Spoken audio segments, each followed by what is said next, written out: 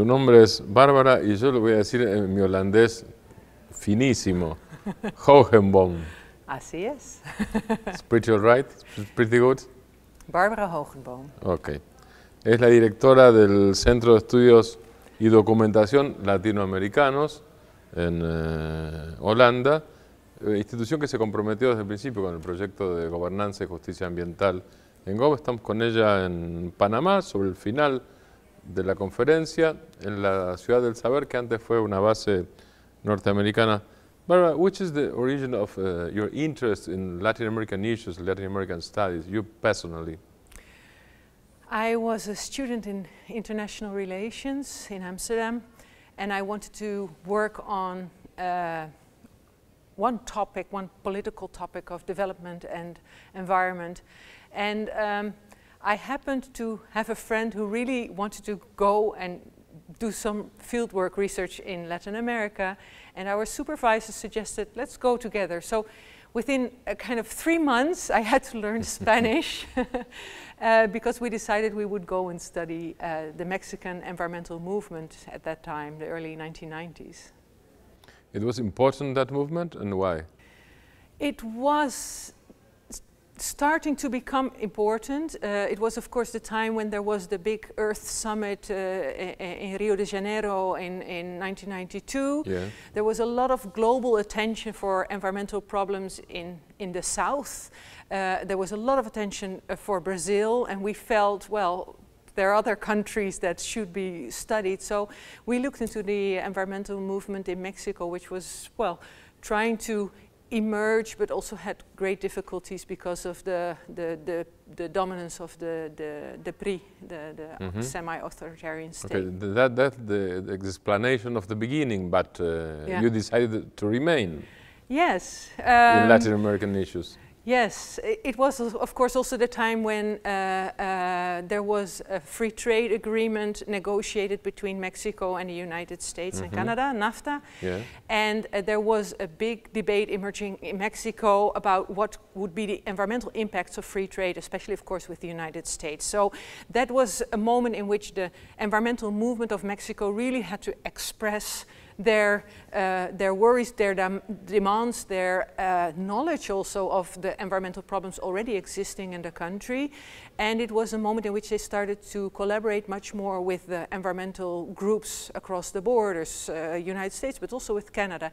So there was an interesting dynamics of transnational politics that I, I wanted to understand, and it happened to be the moment uh, to do it. But from the beginning, you were interested in environmental uh, problems. Yes. Yeah. Before than Latin American problems, Latin yes. American history and politics. Yes, it, it, it turned out I, I, I, happened to go to uh, Latin America, and then after that, I was also going to study other um, political changes in, in Mexico and also in the rest of the region, uh, neoliberal policies, privatization, the, this big dominance of ideas of good governance and, and uh, well, the, the limited views on what good governance was. So in the years, uh, kind of some of these experiences and ideas came together, and that is why when the project, uh, uh, this idea of a project on, on environmental go governance came uh, about, that it, well, it was very nice to see that I could combine some of these. You're speaking about the period of uh, Carlos Salinas de Gortari. Yes especially. Yeah, yeah, yeah. Yeah, mm -hmm. that was, uh, of course, the big man. I still show him a lot in my, when I teach about uh, the, the, period of privatization in, in Latin America and in Mexico, because, well, his, his uh, sexennial was, of course, uh, crucial uh, for the neoliberalization of, of Mexico. Lula usually calls him uh, one of the golden boy of the IMF. Yeah, yeah. and he was. No, that is another interesting uh, well, an interesting link that how, how Mexico seemed to be, um, well, seemed to be uh, very strongly influenced by IMF and World Bank, but how they also played that quite smartly and, and uh, the relations that some high Mexican officials had with uh, uh, people that they sometimes knew personally through their studies um, and that they could actually ask them, well, give us the advice to uh, privatize land, to, to, do something about uh, the, the, constitution and, uh, and um, the, the Ejida, Ejido legislation. Mm -hmm. It, was, it was something that they uh, strategically managed. Did you feel surprised? You know, uh, evidently Mexico very well. Did you feel surprised because Ayotzinapa kidnappings and, and, and the killing of uh, those people? Yes, because I, well, I was surprised because uh, in the past few years I've been uh, shocked or surprised. Oh, shocked also, shocked. of course. Not surprised, or yes? No, also, also surprised. surprised. Also but surprised. that is also because I, I, in the past few years, I haven't been studying Mexico really ah. anymore ah. and, and, and visiting only occasionally. Um, but the reason is that already, of course, years before, you could see that the problems in Mexico with violence, with uh, organized crime, were getting so um, strong, together with all kind of other uh, problems that, uh, well, I'm, I'm sorry to say, but in a way I was, it took me more and more energy to, to go and study Mexico because things were, were so so difficult, not mm -hmm. for me mm-hmm. personally, but to, to watch how things in a, how a country is yeah. going down the hill um, was very hard. And at the same time, of course, there were processes in Latin America that, uh, well, seemed to at least go in a, in a better uh, direction. And also I wanted to expand a bit after years of studying Mexico. Mm -hmm. I work in a Center for Latin American Studies and not just Mexican studies. Mm -hmm. So that's the reason why I, I, expanded at some point to a more comparative perspective of changing poli uh, poli political shifts in, in I have asked Doug before, after Ayotzinapa, uh, perhaps it was the, the, the the last movement, uh, it has an impressive, very impressive impact. Mm -hmm. It shocked all the opinion, public uh, opinion all around the world. Yeah. Even if it was not news in journalistic terms, mm -hmm. and it was not new in yeah. political terms. Yeah, yeah. Kidnappings and uh, kill people yeah. and uh, yeah. in a very in a very hard way. Yeah. Where habits since at least Calderon. Yeah. And then all Europe and the United States also, students, teachers, intellectuals in general uh, reacted against Ayotzinapa as a symbol. Yeah. It was a symbol of what exactly? Well, that's not so easy to say. I think it's partly uh, a symbol of um, citizens seem, seem as, as worthless mm -hmm. uh, mm-hmm. by the state, by uh, local officials, well, clearly by gangs um, uh, and by, by corrupt politicians. Um, no, it is, of course, it was an expression of something that was already there, but, well, very visible in Mexico, very noticeable, but outside but, few but, people but the feeling knew about. It, it's enough. Yeah, no? yeah.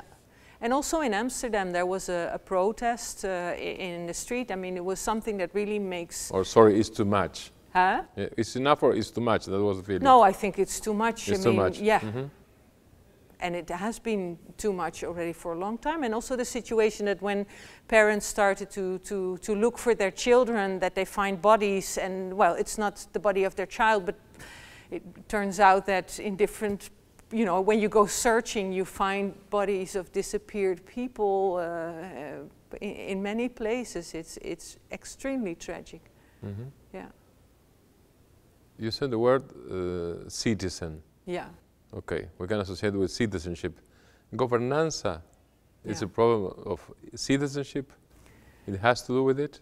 Yes, it has a lot to do with it. In it. which sense? Uh, well, that is one of the important things that we, we did in the ENGOV project, try to, to come to a, a common understanding of what environmental governance is about. And it, it, it, one of the things is that governance is not just what a government does or you know, the, the, the, the legislation made by, uh, by uh, uh, legal bodies.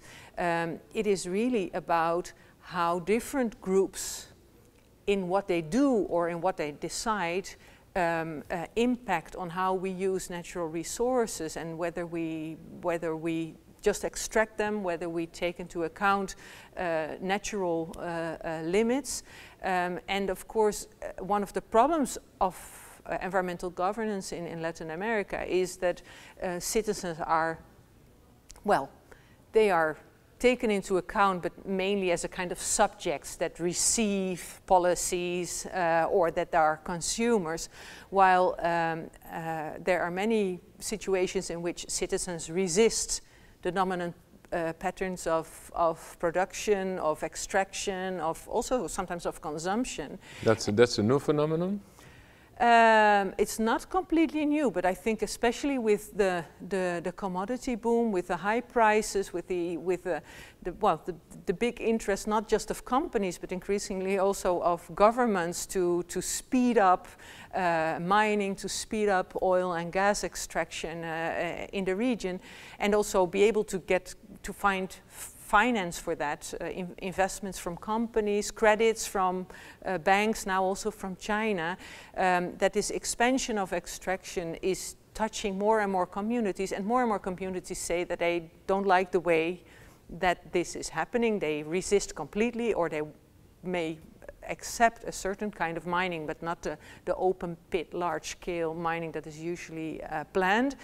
Um, so with this expansion of, uh, of um, extractive activities, also much more uh, conflicts and resistance arose. And, and, there you see again that the transnational processes, groups learning from uh, what's happening in other regions of their country or in other countries, uh, sometimes, you know, uh, uh, uh, groups in Guatemala learning from what has happened in Peru.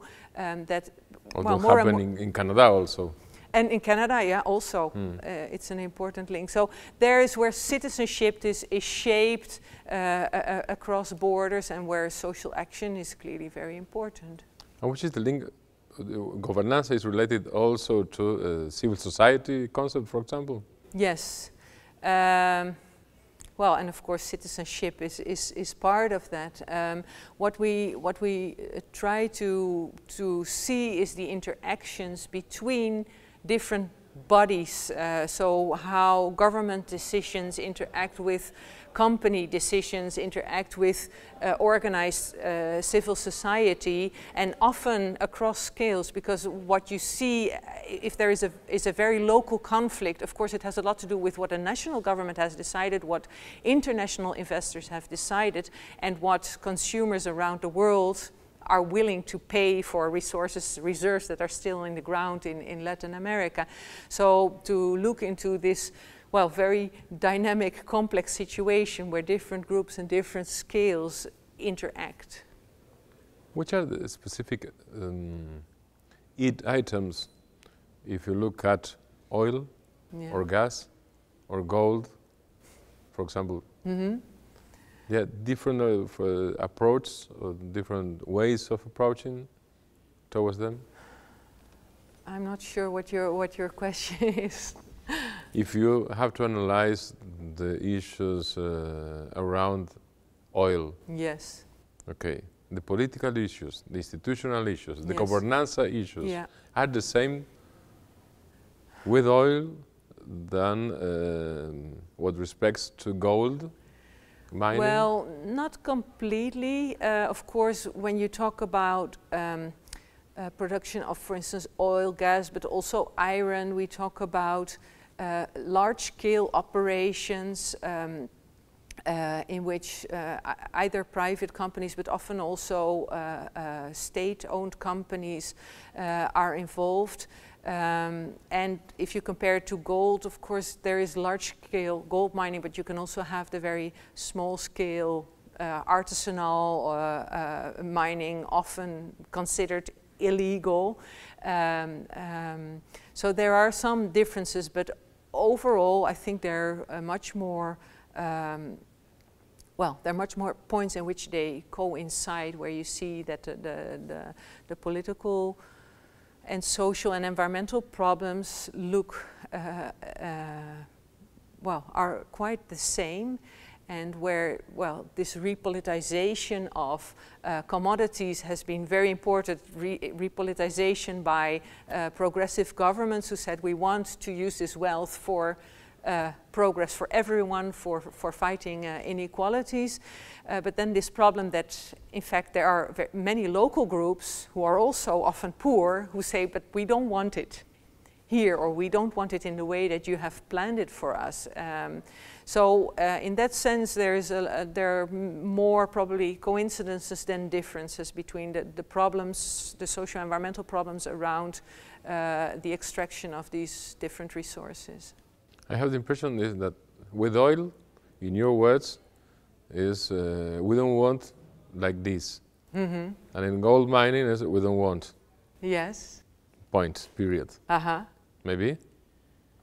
Ah the public dis discussion? What's in the public agenda? Well, but I think the, the, the, big one of the one of the problems is actually that um, while there is local resistance, um, that the general public or the general public opinion is usually usually still in favor of uh, of these uh, these activities of this uh, of these industries because even probably more so under progressive governments because they, they see or they believe that now they are at least sharing in, in the, in the revenues. Part of the revenues, okay. Yes. Um, so that you see that within a country there's also, uh, uh, well, between different groups in civil society, very different positions on, on, this, uh, on the extraction of these resources. So with progressive governments, the situation is more complex and more interesting academically, perhaps.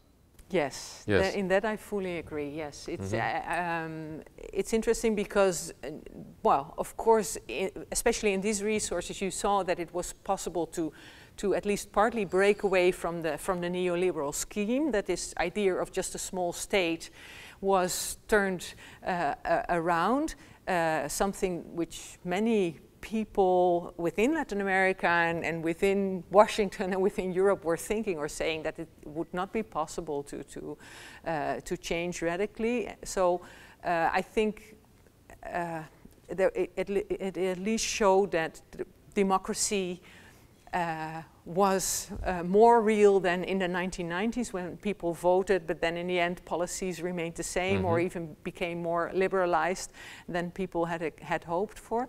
Um, so then there was this expectation, well, a lot of, I think, uh, expectation and also among social scientists, like, okay, now we will see uh, a lot of old problems being uh, resolved. But, well, uh, as often happens in reality, uh, when uh, when yeah, when, when some things change yeah. in, in for the better, and where when you have uh, inclusion of, of some groups in, in a political agenda that, well, other uh, concerns and other groups are, are excluded, and well, uh, new tensions arise, and that is very clear, I think, now in Latin America. After the collaboration between, we are here in CLACSO TV, so yeah. it's Latin America or a global with, with a, a very Latin American impromptu uh, TV public channel. Yes. I, I would define like this. Yeah. So we are within CLACSO TV now.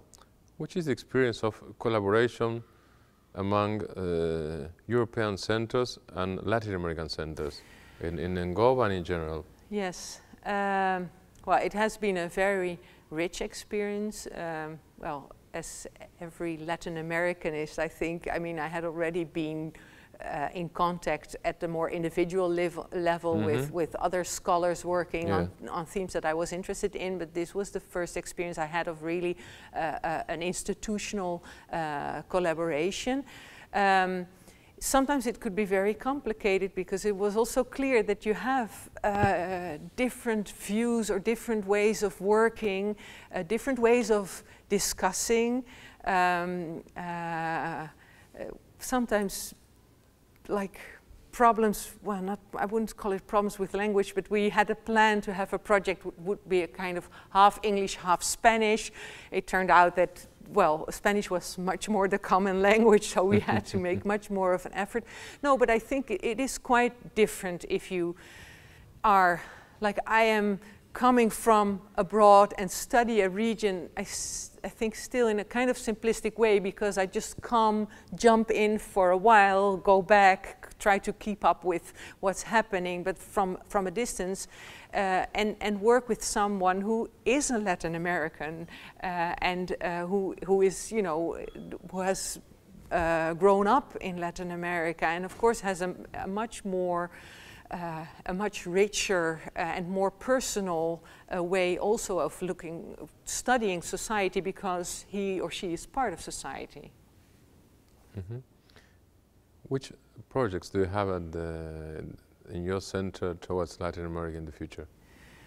Um, well, we have a lot of plans uh, and, of, and also topics, I mean, research that is already uh, ongoing in, in our Center for Latin American Studies. Uh, we have uh, a group working on small-scale gold mi mining in five Amazonian uh, countries. Um, there is now um, more people working on, on water governance, on water justice. Um, these are people working more on on the kind of social dynamics of, of how we relate to, uh, to natural resources, to the environment, uh, to nature. Um, but there are also people working in very different fields, looking more into uh, cultural processes of change, uh, studying new forms of, of social mobilization, which is sometimes much more fragmented than the, the old-style uh, social movements. And we receive a lot of Latin American uh, students, especially uh, uh, doctoral students who come with, with scholarships from their own country now more and more. And, and they, well, they also bring very interesting projects, new ideas to, to CEDLA. Barbara, thank you very much. You're welcome. Barbara Hogenboom, directora del eh, Centro de Estudios y Documentación Latinoamericanos de Holanda, aquí en Claxo TV en Panamá.